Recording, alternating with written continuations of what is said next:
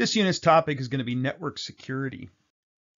Now, typically when I cover a network security uh, topic in a class like this, I have to talk about things like TCP/IP and UDP and Internet Protocol addresses and a little bit of how routing works. I'm going to kind of revisit a little bit of that, but we actually already covered a lot of that stuff in earlier lectures.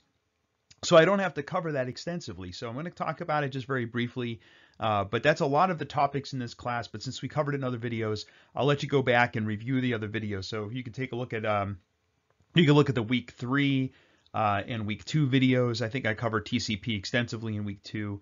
Uh, so you're welcome to go back and take a look at those to kind of review those uh, or take a look at the PDFs. Uh, but let's get started in this unit where we're going to kind of just, just talk a bit more about some of these network security topics. Um, you know, we already talked about the firewall in Linux. We talked about uh, you know, a little bit of how TCP IP works and so forth previously, as I said before. But one thing I think I kind of left out before is this topic on network topologies. It's a really simple topic, but something that is an objective in the course, so I do need to cover it. And then we'll talk about some network architectures uh, and different types of attacks. And then normally when I talk about network security, a really important part of network security is going to be network encryption. But in this course, we're going to cover network encryption later in the course. We're going to cover it um, next week, actually. So in the next unit, we cover remote access. So on the remote access, we'll talk about network encryption because we'll talk about things like VPNs, uh, you know, and, and, enabling encryption for certain services. And then we even talk about a little bit when we talk about applications and how to secure network-based applications later in the course. All right, so let's talk about topologies and networking. Really simple concept. In the old days, go back in time when we talked about network topologies, uh, you know, a long, long time ago, you had computers all, uh, to, you know, in basically in a bus configuration. So everyone can, uh, was uh, attached to the same wiring device, right? So you had a common bus that all the devices were along the same bus. Uh, it was kind of like Christmas lights, right? If one computer was broken, nothing else would work on that network, right? So it would wreak havoc on the network if even one computer wasn't working right. Just like when one bulb goes out in your Christmas lights, right? One goes out, they all go out, right? So later on, uh, some companies came up with a better option. Uh, IBM being the most famous was something called Token Ring, right? So it's a ring topology network. And the idea is that each computer was connected to the next and you form a giant ring, right? Uh, so if one of these computers was broken, it still wasn't a good thing, right? But at least you could still have communication among some of the computers on the network. Although, you know, IBM's token ring was a little bit more impervious to failure than that. But that was the basic idea of a ring network. And of course, the modern networks almost always use what we call a star topology, where you have some centralized wiring device like a switch.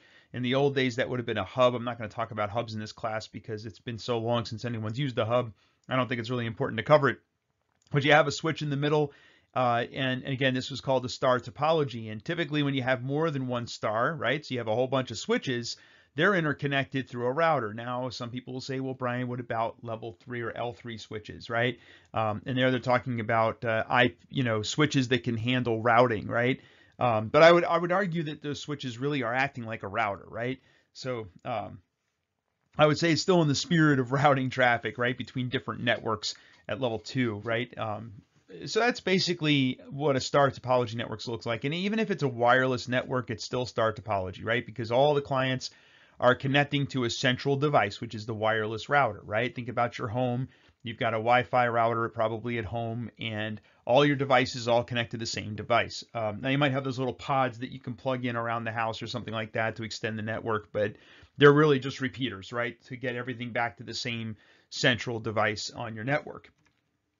Usually a single star topology uh, is is referred to as a LAN, a local area network. Um, typically, when you interconnect different local area networks, uh, it typically becomes a wide area network, right? Not always, right? You can have lots of LANs within a small geographic area, right? Like, for example, inside a college campus, um, it's all still the LAN, right? Um, but typically, when you're traversing long distances, right? If you're if you're interconnecting that router between Ethernet on the local area network and some other methodology on the other network. Now, I had a slide in here where I talk about the different technologies to interconnect networks, how we connect to the internet, but I didn't really want to kind of weigh down this unit with that because it's not really an important topic in this course. It's not an important objective in this course, but just understand there's lots of ways to connect to the internet. Typically, a router is kind of bridging those two, right? It's bridging your local area network to the wider internet. Now, we call networks where all the computers are equals, we call them peer-to-peer networks, right?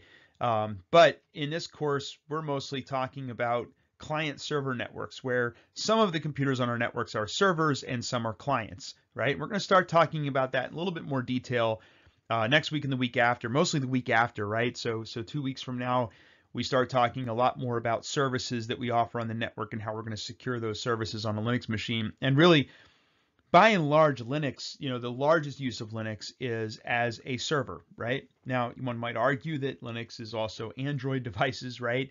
Um, you know, so yeah, I mean, there's a lot of Android devices out there, but for a course like this, we're probably mostly preparing students for uh, for work working with servers, right? That are that are going to be providing services on a network in a local area network or or even a wide area network, you know, over a large area.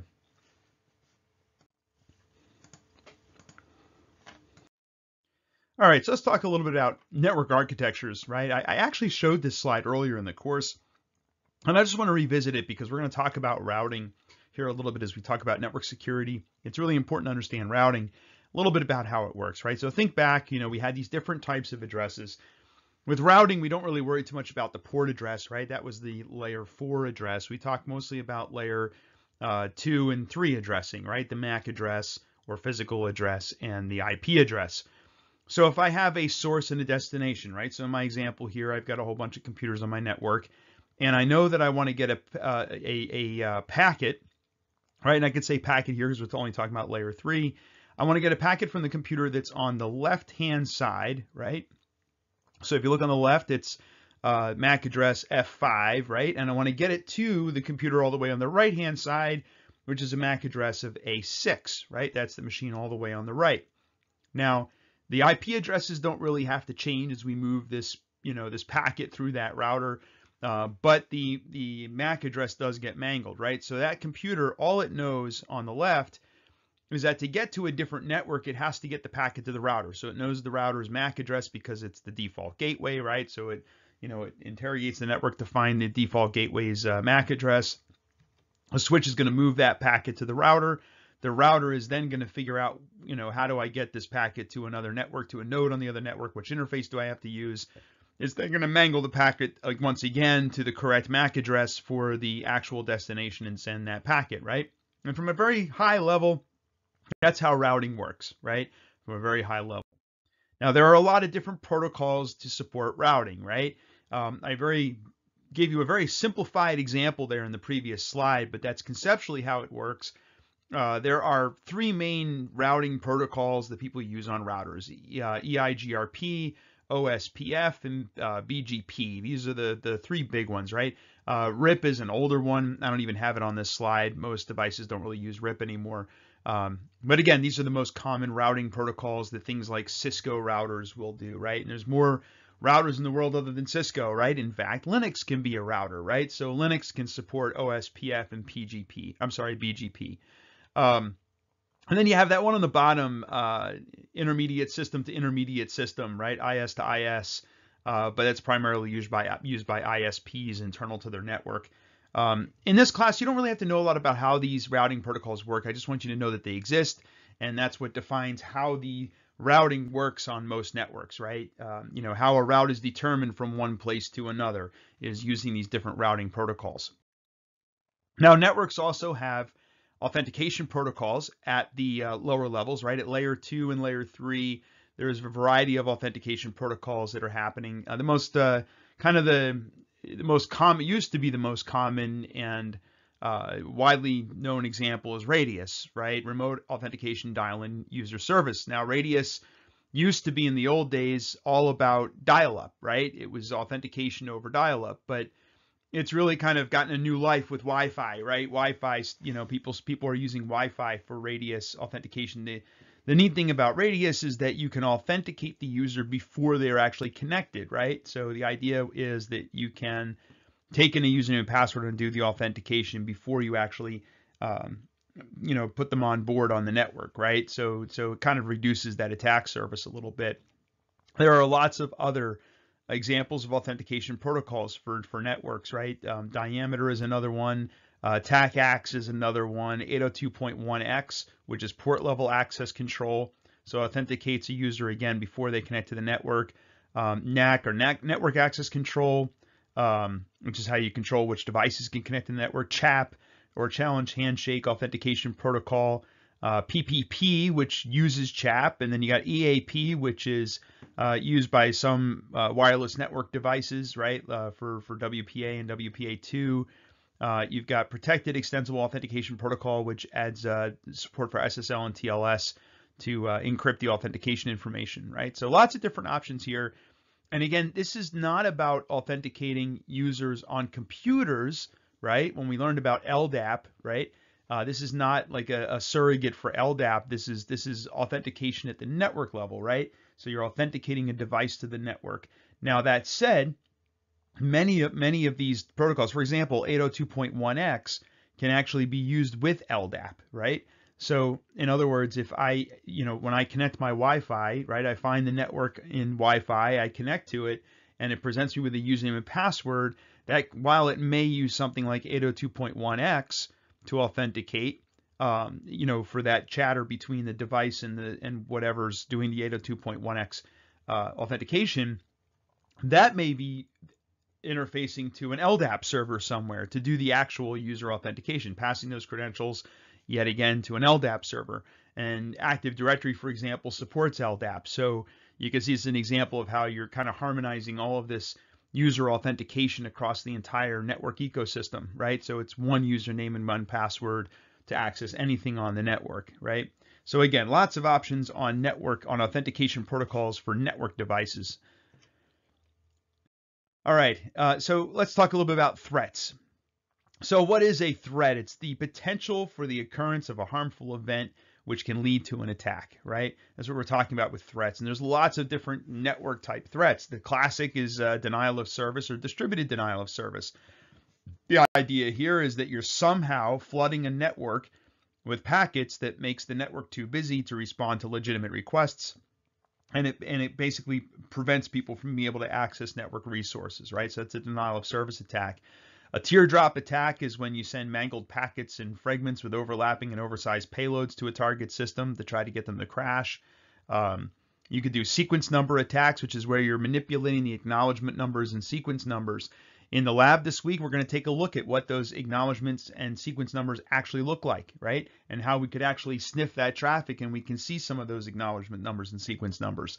Um, a Smurf attack or a Fraggle attack is where, well, Smurf attack is using ICMP echo requests. A Fraggle attack is using uh, UDP packets to flood a network, basically to cause a denial of service attack um, you know, by getting a lot of nodes on the network to send packets that aren't needed, right? And I'll talk about how that works. The ping of death. Um, now, the ping of death was a um, a way to construct an ICMP echo request in I in, with the Internet Protocol, um, but uh, the the uh, that attack doesn't work anymore, right? It used to work against Windows machines. You used to be able to send the ping of death to a Windows computer and it would cause it to blue screen and crash, right? If anyone remembers the old blue screen of death, right? It was one way you could send these echo requests on a network and start getting computers to blue screen all across the network. Microsoft has obviously fixed that vulnerability, right? But why do I talk about it here? It's not so much that we have to specifically protect against the ICMP echo request ping of death, right? Uh, it's a well-known attack that's uh, already protected on most devices implicitly. But the reason I talk about it is because it's it's an interesting example of how somebody discovered a vulnerability by taking advantage of um, you know how these protocols work, right? Having a deep understanding of these protocols and understanding how they work and manipulating them under the hood, right? Which in the lab I kind of give you a, a, a taste of that, right? So in the lab we get kind of just a we barely get a taste of of how to start looking under the hood at these protocols and the traffic to start to understand how it works. And, you know, people kind of pick away at that and find interesting and very creative ways to, to attack systems, right? Um, so I think it's, it's good to study this stuff because it, it gives you a sense of kind of the methodology of how attackers uh, try to attack systems, right? So it's interesting to study these things. Um, a SYN flood is when we have a large volume of TCP SYN packets, which again consumes resources on a target system. Um, you know, I think I talked about stateful versus stateless uh, firewalls, right? Because I talked about firewalls already in this course, even though it's the topic really in this week. I talked about it early in the course. You know, I covered what firewalls are and a little bit how they work.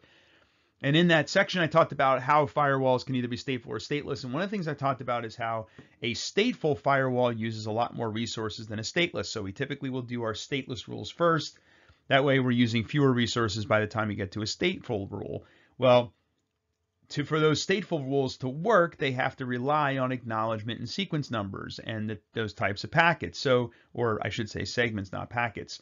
So what if I send a large volume of SYN packets, right, that, that have the synchronization number, right?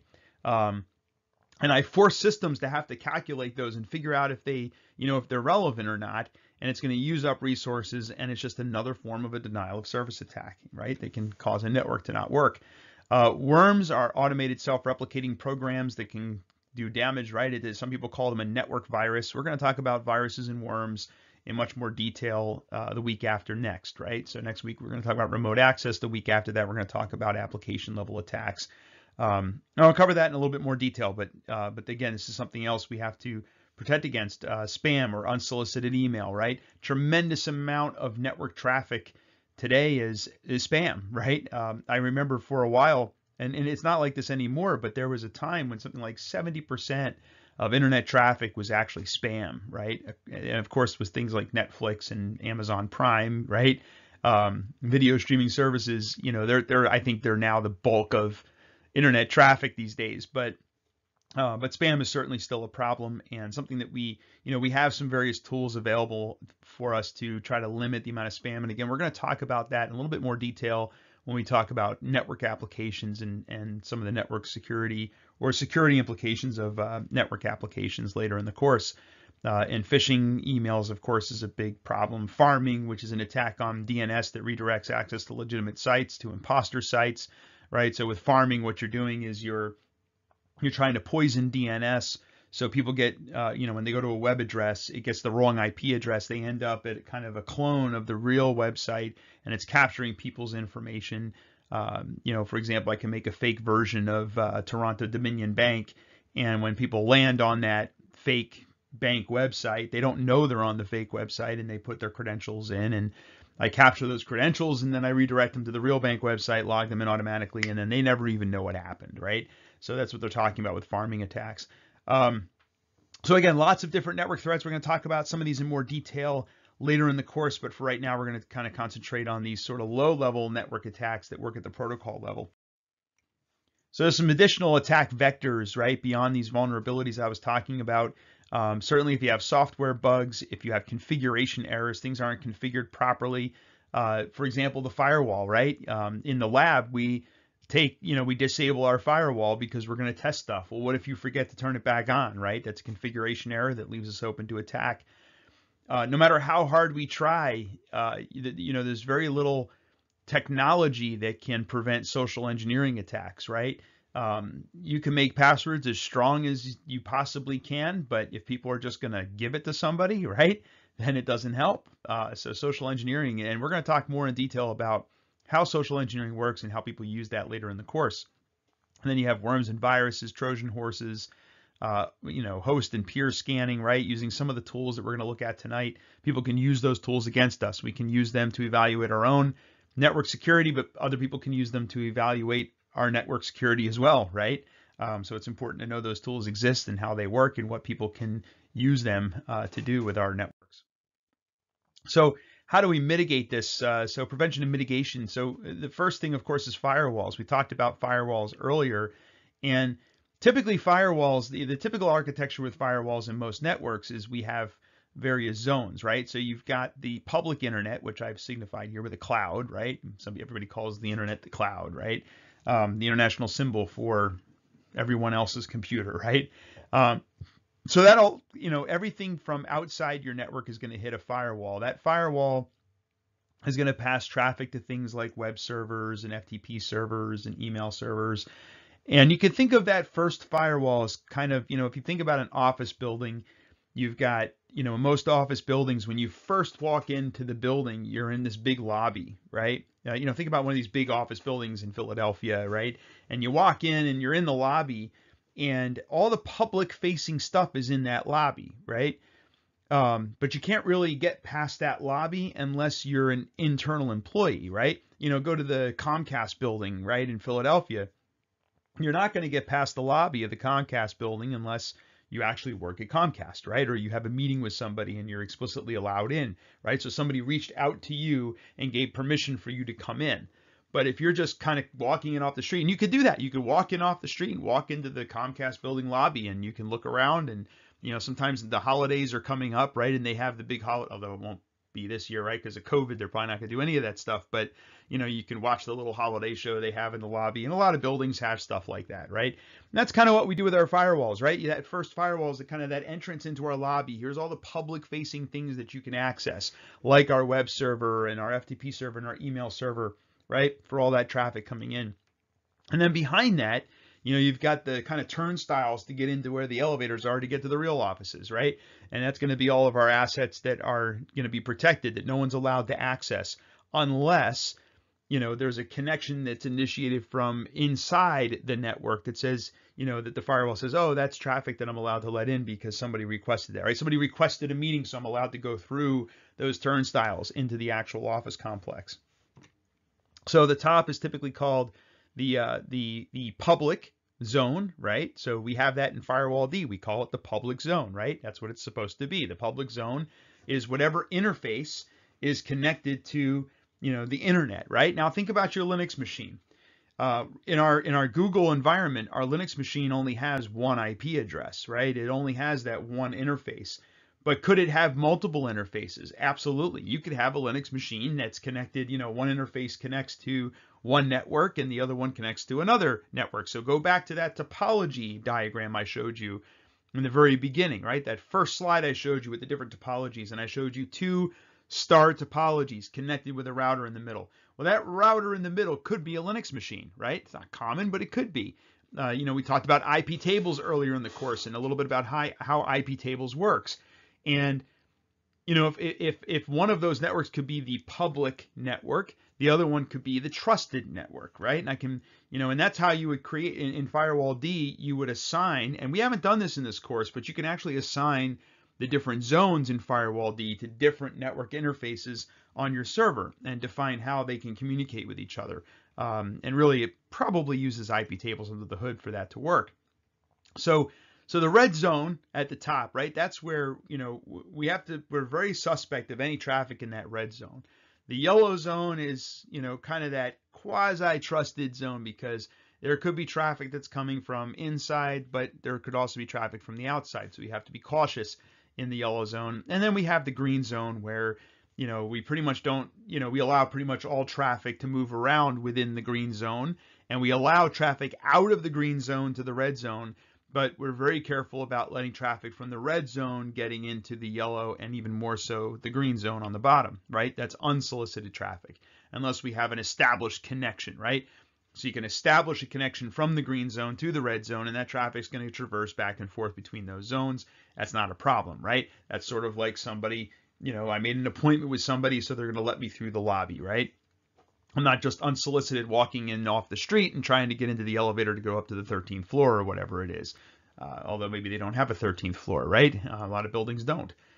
All right, so that's a little bit about uh, the zoning with firewalls. So let's talk about some of these different attacks. Uh, first one is spoofing and de uh, denial, distributed denial of service attacks. How does this work? So let's say you've got a router, you've got two nodes on a network, right? Or two networks rather, right? I've got network one, I've got network two, and they're both interconnecting through a router, right? I've got a packet that the source is network one and the destination is somewhere on network two. And that packet flows into the router. The router gets that packet and then it says, oh, I know where that needs to go. I send it off to network two, right? But then what if I have an attacker and uh, you know, by default, their source is going to be the internet. By the way, that's an I on there, not a one. I, I should have used the different uh, different numbers on the left, right? Because um, it looks an awful lot like a one, but that's supposed to be an I on the right side. So that little packet, the source is the internet or I, and and the destination is two. And that router should be smart enough that when that packet arrives, it says, well, wait a minute, um, network two is in my trusted zone. I can't just let unsolicited traffic in and it gets rid of that packet, drops that packet. So then the attacker has to get smart. He has to say, okay, well, what if instead I make my source address one to try to trick the router into saying, oh, that came from one. Let me go ahead and route that over to number two because it came from somebody I can trust, right? And I can relay that message. Um, and then what if the attacker does that? What if they set the source to the router, right? Um, you know, and start sending a whole bunch of packets to the router. Uh, and that's really how a Smurf attack works, right? Um, and also a Fraggle attack, which uses UDP. So a Fraggle attack is where we spoof the um, uh, we spoof the router into uh, uh, thinking that it was that it's the broadcast address. So whatever packets we're sending that router in UDP, it's going to try to broadcast it right it, it, to across the entire network, right? So we spoof the um, the source as being the broadcast address. So when it tries to respond, it just starts sending packets all over the place, and you get this storm of packets, and it shuts down the network. With an ICMP or or a Smurf attack, you're using ICMP where you're spoofing the return address, right?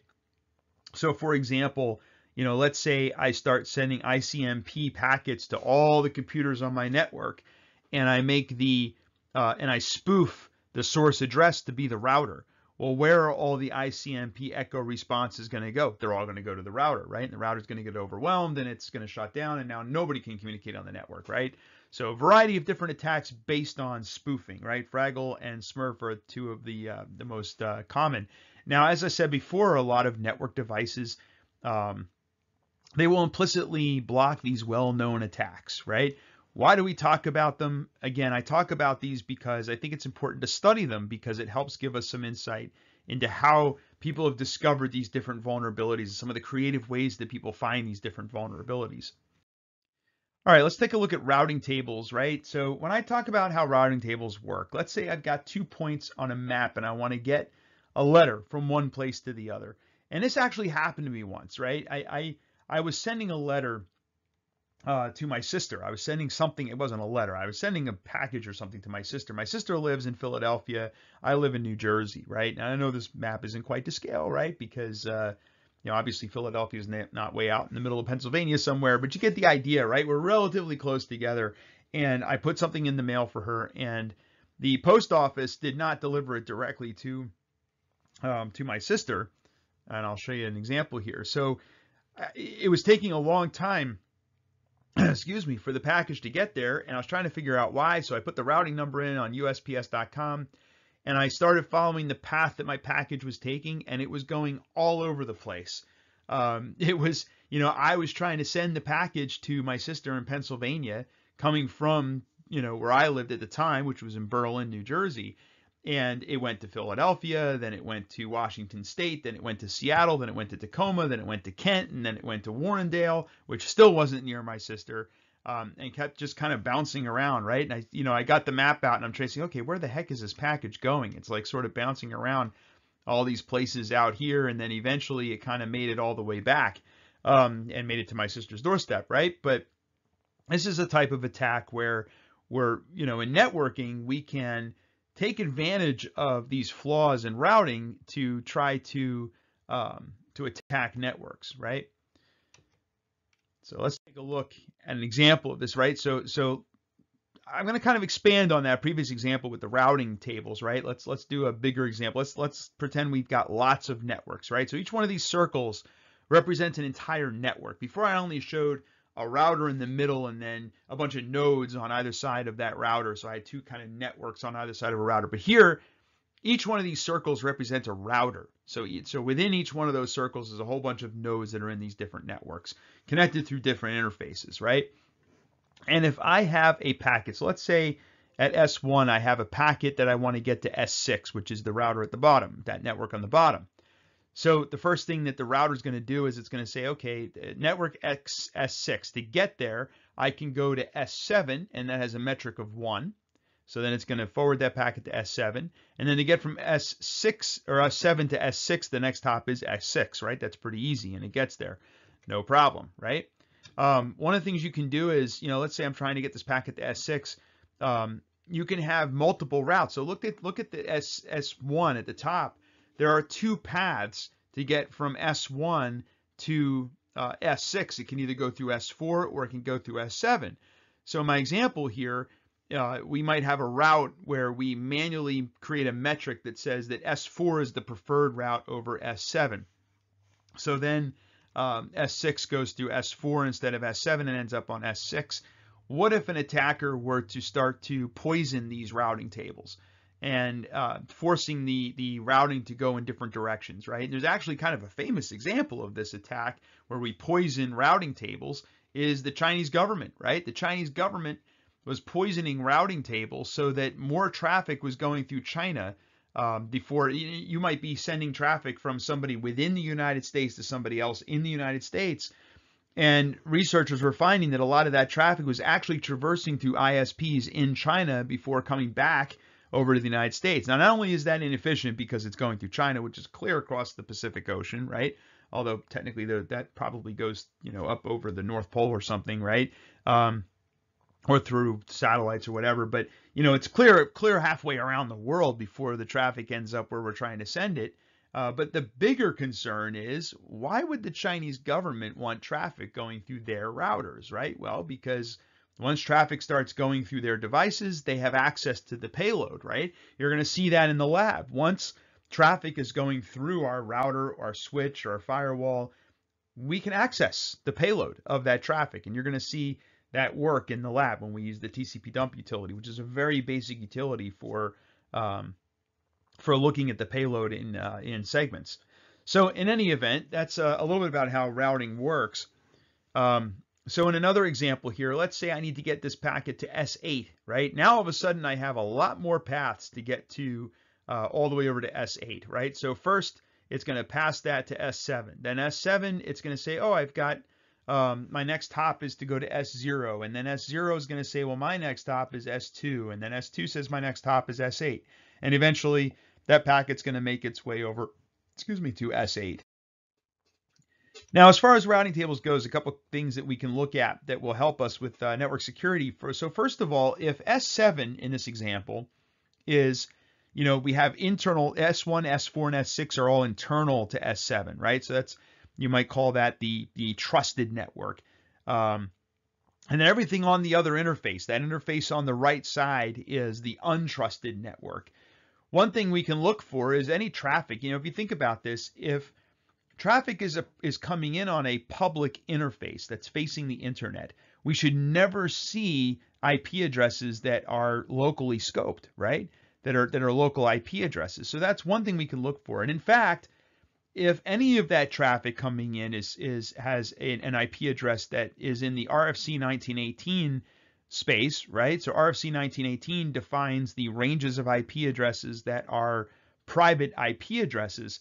I should never see traffic coming in from a public internet facing interface with an RFC 1918 address, which means I can just drop any packet that, that that's in that range, right? Um, so that's the first thing I could do. I could also drop anything that's coming into my interface that's not assigned by IANA, right? So IANA uh, basically assigns all IP addresses. And, you know, you can kind of, you know, with that list of IP addresses, there are many IP addresses that you should never see traffic coming from for a variety of reasons. So you could use that published IANA um, assigned IP addresses to kind of determine, okay, well, this block of IPs would never be legitimate, so we can throw those away and um, here's an IP address that's never been assigned. If I if somebody's trying to connect to me using an IP address that was never assigned to any entity, well, it's probably an attacker, right? So that would get dropped, right? Um, so those are various ways that we can protect our, our network. We can also use pointer records, right? So you can use a DNS lookup. So you, your your your network security device could say, okay, I got a request, and the IP address that it came in on when I do a uh, when I check its pointer record with nslookup, it doesn't come back to anything legitimate, right? Nobody nobody has an FQDN registered to that IP, so that's probably an indication that it's not something real, right? So it would drop that packet. So lots of different little things that we can do to try to detect this uh, these spoof attacks. Now, another example is uh, RFC 3704, which you can look up. Uh, talks a little bit about um, um, excuse me, RFC 3704 is reverse path, right? Unicast reverse path forwarding. So the idea is, here is, let's say I've got a packet that arrives into that center, you know, uh, uh, router. It says the source is S4 and the destination is S6, right? Well, S4 is all the way on the left, and if that packet arrives into S7 from S0's interface, right? Well, it should be smart enough to say, wait a minute, traffic coming in on that path can't possibly be from S4 because only uh, traffic coming in from the left interface, the interface on the left hand side, could be coming from S4. So it should be smart enough to just drop that packet, right? And that's what RFC 3704 defines. It's uh, it's dropping packets that just semantically don't make sense, essentially. All right, another type of TCP attack is what we call the lamp test attack. Um, so if we look at a segment header, right, what if somebody just starts setting these flags to all kinds of things, right? Um, sometimes people call it a lamp test attack. Sometimes people call it a Christmas tree attack. You're lighting up all the flags like a Christmas tree. And the idea here is to just try sending packets that or, or segments that have all these different flags set to confuse uh, software. It doesn't know what to do, and and maybe it's going to use up resources while it's you know caching these these segments because it doesn't know what they are, or maybe it's going to crash the device. Right? That used to work. That used to be a pretty common attack. Um, it used to be fairly effective, but not so much anymore. It's not as effective as it used to be. Uh, a man-in-the-middle attack is essentially when you're setting up this three-way handshake, but instead of the handshake being directly with the with the the party with which you want to communicate with the TCP and you know layer three and so forth, right? Instead, an attacker sits in the middle and they're receiving the request for a connection. They then um, uh, they then request a connection with who you're trying to talk to, and then uh, this happens with the attacker sitting in the middle. So they set up a three-way handshake with the requester and independently with the receiver, and then they're kind of moving that traffic. So they actually become kind of like a router, right? Um, this is uh, this this type of attack.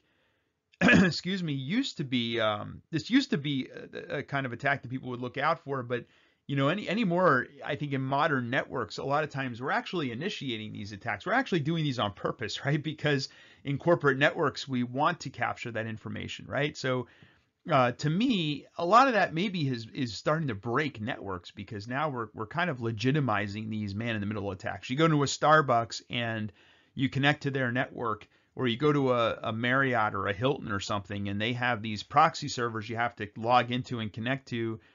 Uh, you know, with your room number and your name or something. And then when you go to websites, it says that the website, you know, the certificate is bad because it's going through some kind of proxy and you you know you basically are just people are getting complacent and they're just saying well I'll you know I'll accept it anyway and keep going.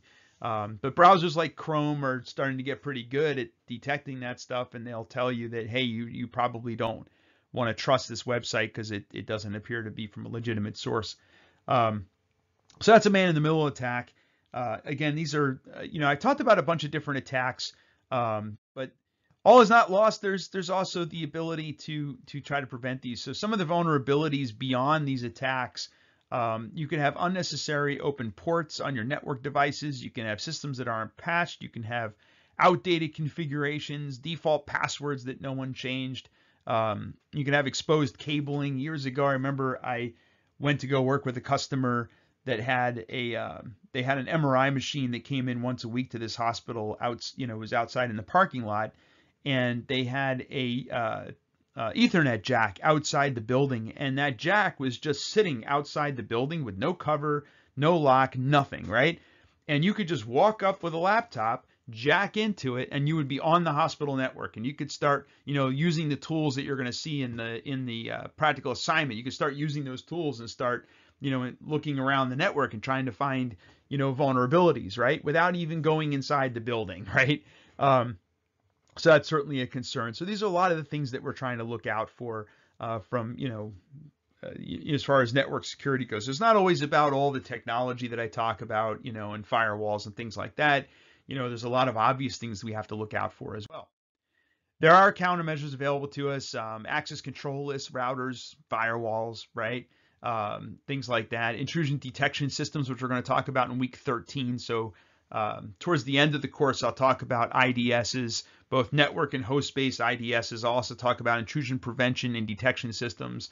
Uh, in week 14, we're going to talk a little bit about data leakage protection uh, or prevention systems. This is what prevents people from emailing sensitive information or copying sensitive information off their computers outside the network um, and how to classify data to prevent that from happening, right?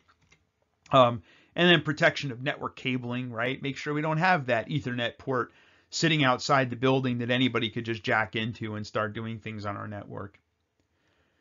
All right, so that's pretty much all I have this week. And if you have any questions about network security, let me know. Uh, but also there'll be a lab that you will, or I call them practical assignments, right? There's a practical assignment where you're going to use the Nmap tool and tcpdump to kind of play around with some uh, and see a little bit about how networks uh, network security works, right?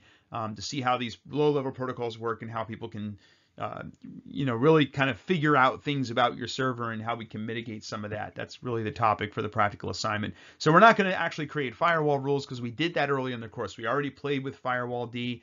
We already know how to configure firewalld. Uh, this week I'm kind of concentrating on more on why we use firewalld, right? Why it's important to have that. And what are some of the other little things that we can do to try to help protect our networks and protect our servers. All right. If you have any questions, let me know. Thanks for watching.